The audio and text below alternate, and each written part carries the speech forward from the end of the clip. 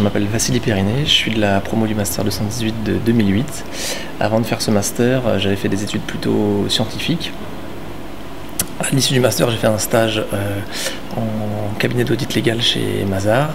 Euh, j'ai ensuite une expérience dans le courtage en assurance collective, en inspection commerciale collective chez un assureur. Et pour finir, je suis maintenant chez un réassureur, toujours côté vie.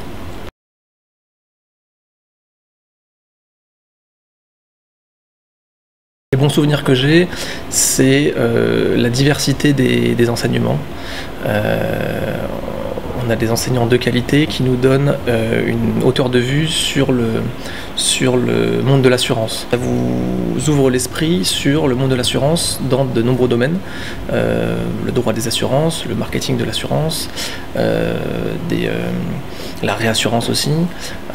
moi en l'occurrence, comme j'ai une formation scientifique, ce qui m'a le plus plu, c'était euh, ce que j'ai cité, c'est-à-dire la réassurance, euh, le marketing, la stratégie, des choses que je n'avais pas faites avant, alors que tout ce qui va être actuariat vie, actuariat non-vie, c'est des choses que je connaissais un petit peu, donc j'étais moins curieux.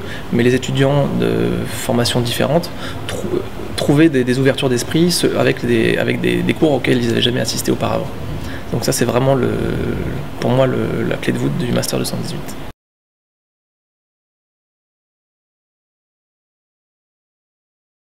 La chose qui nous, qui nous, qui nous, comment, qui nous lie, c'est l'association Risque 218. Donc ce qui nous lie, c'est, euh, euh, moi particulièrement, c'est les, les afterwork, les qui sont organisés.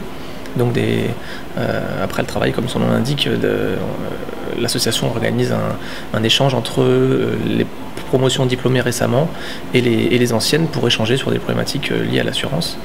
Et c'est comme ça que je garde le contact avec la mailing list qui est quand même très, qui nous tient à jour de justement tout ce qui se passe au sein du master.